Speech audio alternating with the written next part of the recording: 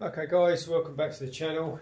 Uh, firstly, I just want to thank everybody for all their support and nice comments on the last video regarding my health and all the private messages I've had.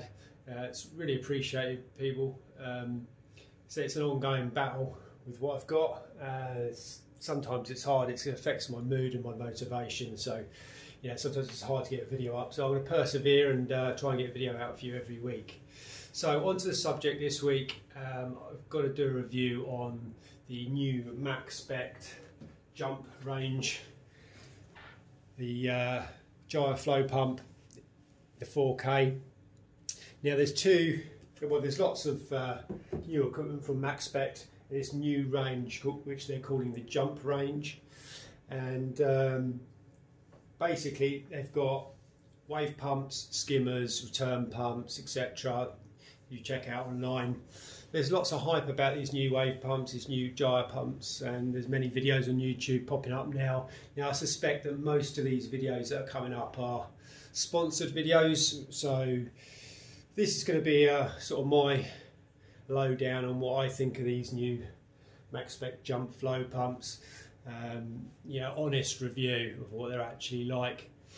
Now, obviously, for this tank, flow is uh, was obviously on the agenda to, to bump up the flow in this tank. There simply wasn't enough flow. So I've had over the years been reefing probably what, nearly 25 odd years now. So a long, long time. I've had my fair share of uh, wave pumps. I've had pretty much all of them to be honest. Um, from the, the cheap Jebao, Jecod ones, right through to sort of the Ecotech, Vortech, MP series. Now for this tank I had a couple of wave pumps from my little nano that I popped on here. Like I say, simply wasn't enough flow so I needed to beef it right up. So choice wise what do I go for? I thought, you know, let's give these, I've never had a gyre pump before and uh, I thought we've got to give one a go. And obviously, there's a few offerings on the table from different companies. Um, first one being uh, the go-to one I was going to go for is the Red Sea one, which does look really impressive. Don't really need the uh, it to be you know controlled through an, an, app. Not really a big fan of app-controlled uh, modules on the tank. So and it's quite pricey the Red Sea ones comparative to this new jump range by Maxspect. So I thought let's have a look uh, see what they're like. And I do like the, the fact that this isn't Wi-Fi controlled at all. It's just got a dedicated controller, a nice big controller. Uh, so I thought I'd jump in with, uh, pardon the pun, with going with one. Um, there's two versions. There's a 2K and the 4K. The 2K one is half thousand liters an hour full chat, and this obviously the, the 4K one is uh, is 15,000 liters full chat. Now Size wise, physical presence in the tank, the 4K one's not that much bigger than the 2K one. So I thought I can always, if it's too much, I can always dial it down. So price wise, you're looking at uh, around £200 for this 4K one. And it's not much of a saving really if you're going half the power. So I think the small one, the 2K one's around the sort of 145, 150 quid mark. Uh, so it seems sensible to go for the bigger one. Um, so yeah, I mean, I had a choice of you know I could have gone for a Jecod. Yeah, the, the Jecod ones, the SOW15, which is 15,000 litres an hour, is literally 95 odd quid, 9,500 pounds, um, which is really, really good value. But reliability wise, although I've had no issues with Jecod, I think you know over the years I've had pretty much all of them, and they've all, for me, been very reliable and uh, got good longevity to them. Um, my son's obviously run, running, if you follow his channel, uh, he's running a few as well. And again, no, no, real issues. I think the big issue with the Jecods is, uh, especially the smaller ones, unless you're running them higher power, if you're running them low flow, the motors don't tend to, to last, they seem to burn out. But um, yeah, anyway, so going for choice wise in this tank, we went for this Maxspect jump. Um, so my impressions of it so far, it's been running quite some time. I get the camera off the tripod and give you a little show around of, it, of the controller and everything. Um, it's been running probably a couple of months now and as you can see all the coralline encrusting on it. You see in this light, got no filter on the camera, um, but here it is on this side. And the controller just up here. It's quite a basic controller, it looks complex. You've got lots of different modes you can run through. I just run mine on a pulse mode as you can see here with the ramping of the percentage here. Sort of one second, I think it's half a second pulse on and half a second off, or down to 10%. Now there's, I think five different modes. One's a random mode, one's a slow ramp up, slow ramp down, one's continuous, and one's a reverse mode. Now that reverse mode is initially you think well that's quite a good idea so you can reverse the gyre flow around the tank. But the, way that the fins on the propellers uh, are positioned you don't get hardly any flow going in the reverse um, setting. Uh, so I find that's kind of pointless really. Um, the other thing uh, that's good about this actually uh, is that you can angle individually each side of the pump. So you can have like I've got here them staggered. So this side is giving a, uh, a sheet of water flow to the top surface and round this way. And then the other side is sort of going down onto the rock scape and back up round.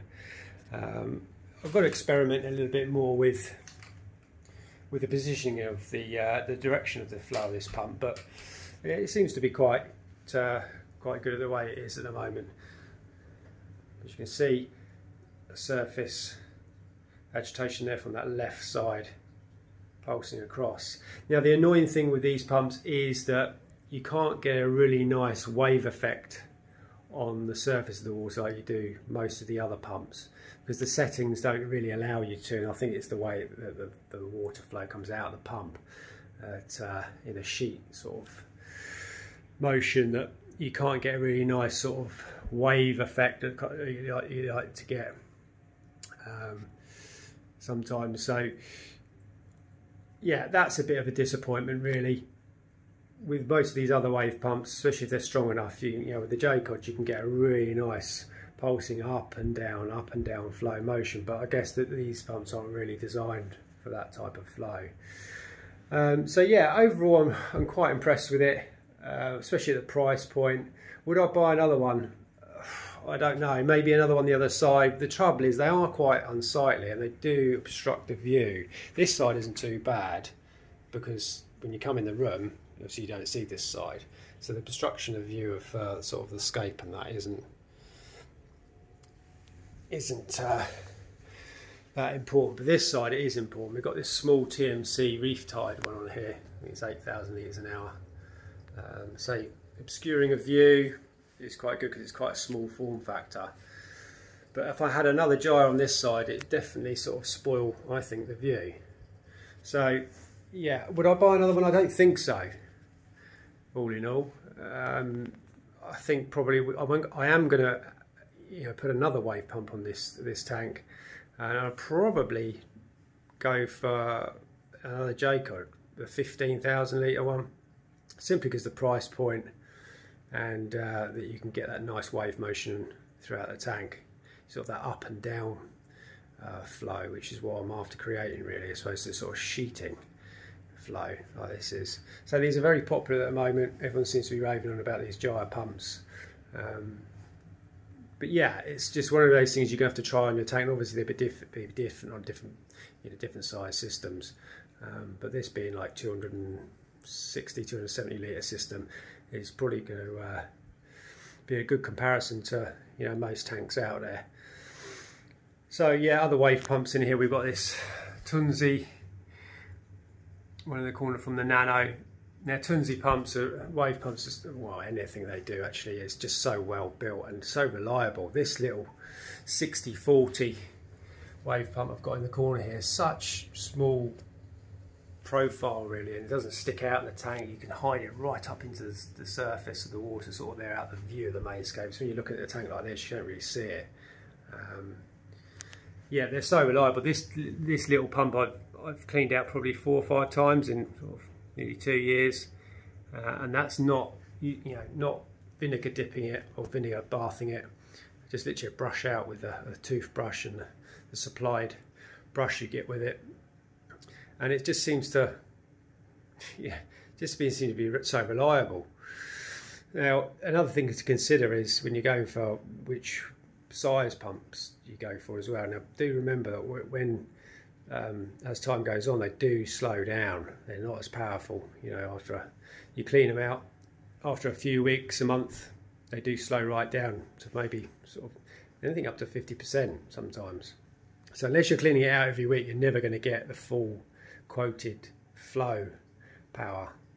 Um, so, you know, I'm glad I went for this larger one because the smaller one simply wouldn't have been enough. Um, control the controller, going back to the controller again, it's a good little controller, I say little controller, it's quite a large controller, it's really easy to use. And uh, yeah, it's the only annoying thing is that you, you can't get it, some of the functions don't allow you to get that really intense pulsing of the water up and down.